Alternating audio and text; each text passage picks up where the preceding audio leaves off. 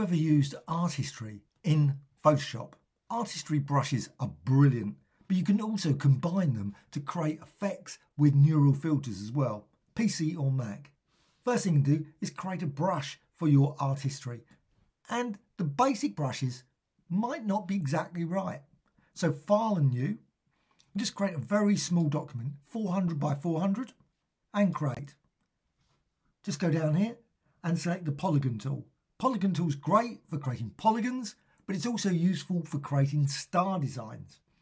I'm going with pixel and its color set to black. Just go up here and you've got settings. Just settings. You can change a polygon to a star very quickly by clicking here and setting the star ratio to something less than 100. I'm going for 20, so it's a very sharp star. And just drag from top to bottom, left to right, and you can see your star design there using black. And that makes a really good art history brush, much nicer than your basic round brush, as far as I'm concerned. Go to Edit and define that brush preset. If you want to save any brush, new brush, just use that. Edit and define brush preset. And give it a name, maybe star one, and click OK. Now you've got that, what you can do, you can go and create a document. And I'm just going to create a very basic document with gradients.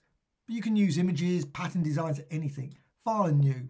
This time it's going to be larger. So 2700. Just randomly selecting a size, but fairly large file. Click create. Now you've got here art history brush and that's 362.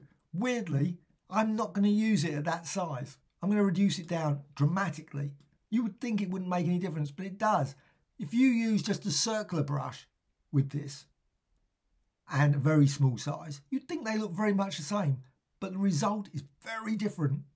So I'm just going to go down to about 9 or 10 or 8.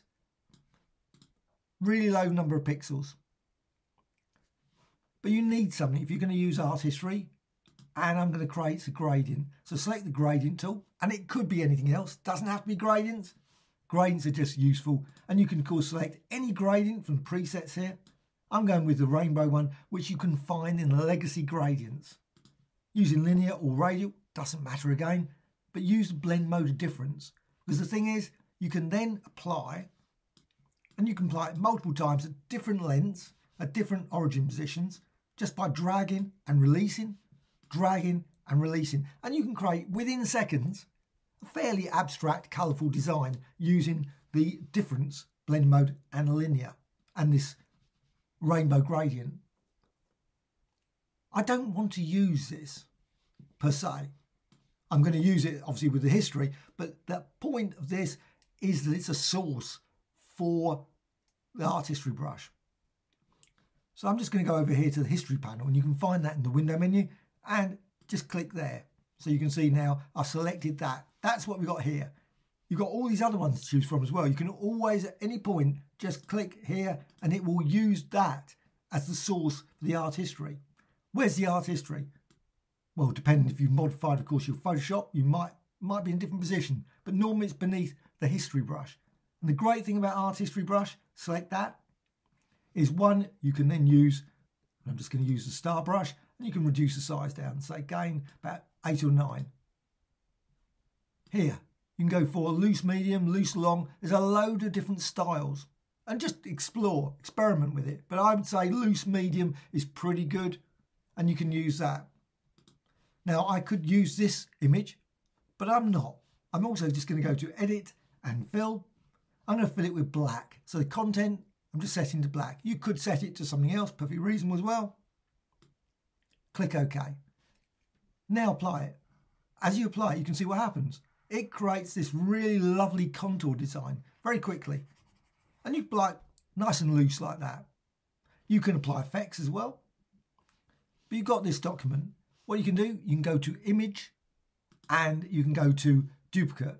So you can turn around and just duplicate that one. Now you could give it a name. You could say this is contour one or something else. Perfectly reasonable. I'm just going to keep these all these files. Click OK. And then I'm going to continue. Just going to modify this one.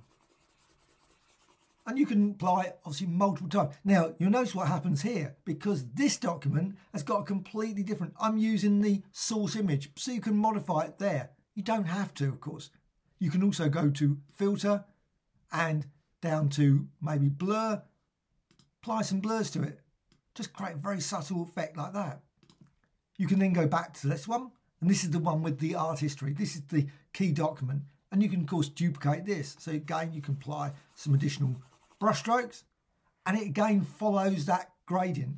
But of course you've got all these gradients here as well. So you can just click it there and now, it, I don't know what it looks like, but I'm just going to apply it. You can see that was the gradient design then. And you can see now I'm over overlaying that. You can of course combine it again with filters. So you go to filter and Gaussian blur if you want to, or maybe stylize an oil paint. Creates a nice smeary effect there stylization 8 and cleanliness 8 as well. So you've got this design and this design can also be again image and duplicate. Always remember that when you've duplicated it you're working on the new document. So if you go here with the art history again you can do that.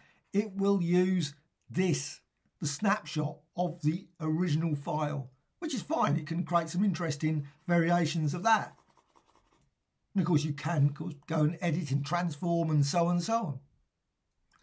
But if you want to use the art history, just go back to the original one. Again, you've got this, and you can click here and create some more, some more variations. And you could, of course, continue. That's not the point of this.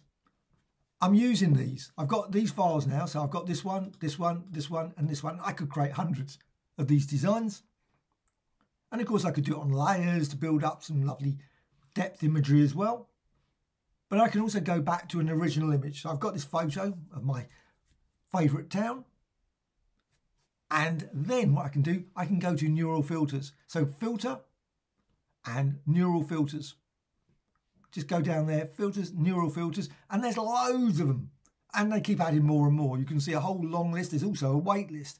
Portrait generator, sounds great. Water long exposure? I have no idea. Shadow regenerator. There's a load of different ones that obviously are upcoming at some time. Wait list. I can't wait to see them, of course. Style transfer. Just go there. If you haven't got these, you can see here, you've got a little this, you might have that.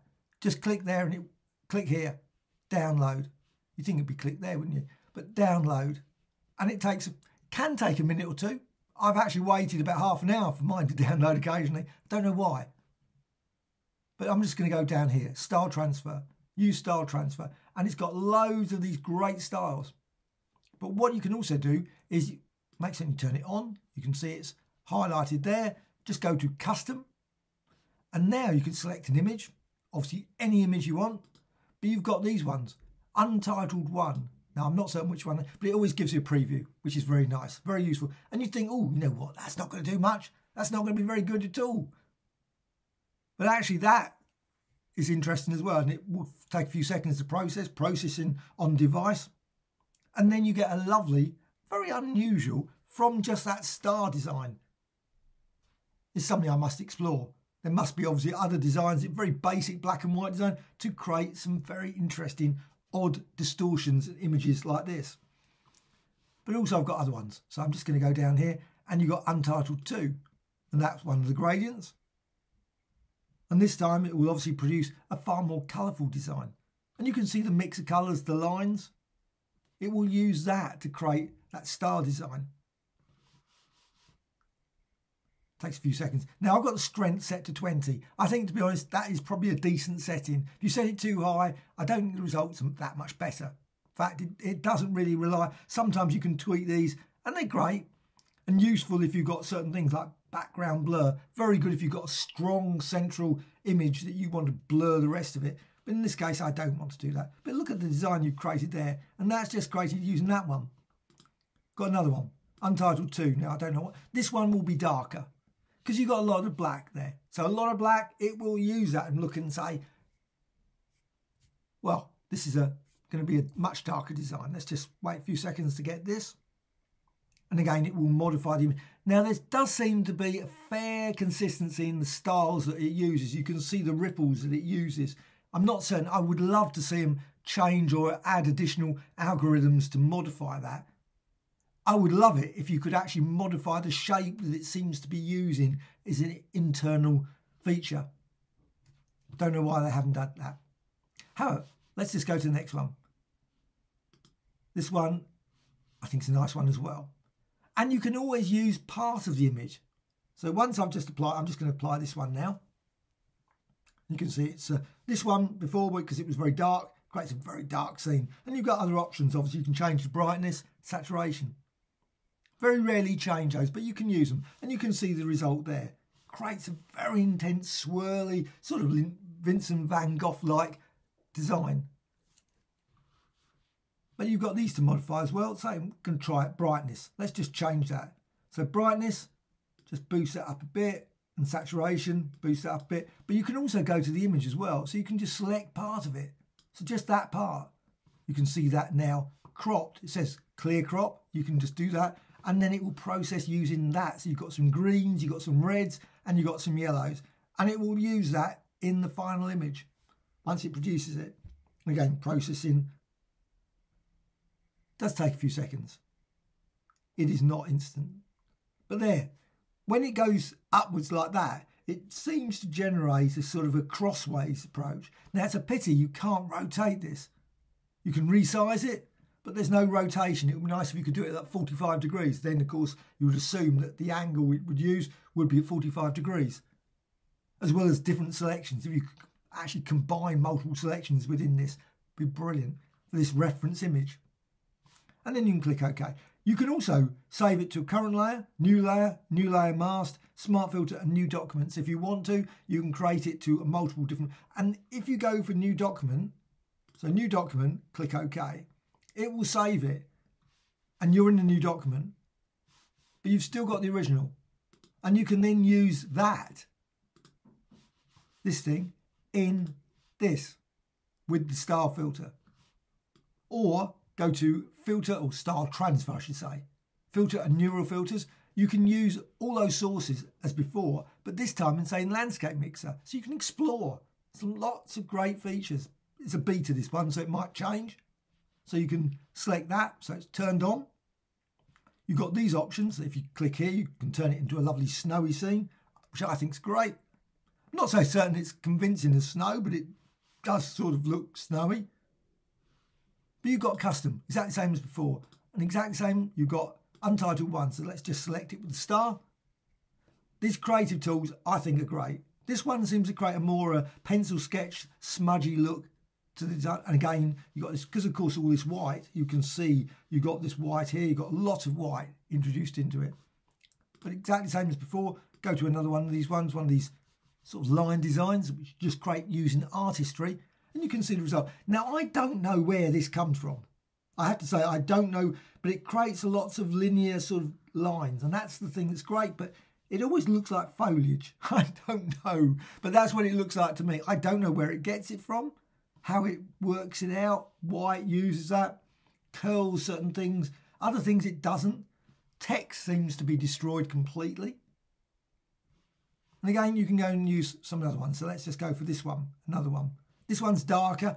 I suspect the result may be slightly darker. Ooh, it is. I don't know. what It's created this weird, abstract cloud smoke coming out.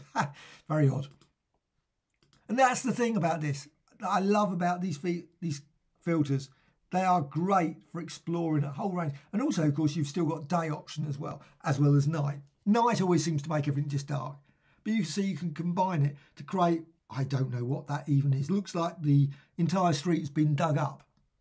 Very odd abstract designs can be created from this. And you can vary it just by the sources. And of course, you've still got that original image. So here's the, yes, that was the, let's just see what happens there. Ah, creates it sort of more, uh, you can see it's linear, it's got a line going across ways sort of approach. Very odd. And once you're happy with everything, just click OK and save it maybe to a new document and use that as a source and so on. I'm just going to cancel this point. You can see there's a whole range of different features, all using art history ones such as this, and you can modify them. You don't have to keep it like that. There's lots of other filters. So filter, liquify. Liquify is great. So you can always go to liquify and you can just distort it. And I know you think, oh, you know what, that's not going to have any effect. That does actually modify it quite dramatically just by distorting it like this. Just dragging things out to create a new source file. Distort it in all kinds of ways. Click OK and then use that design. And you could use it, of course, with the filter itself. So gain, filter, neural filters, and use that. And combine them in multiple different ways. Lots and lots of creative opportunities, abilities in this. Hope you found this of interest. Please let me know in the comments below how you'll be using this feature. Have you used this feature? Will you be using this feature? Also, thank you much. Bye.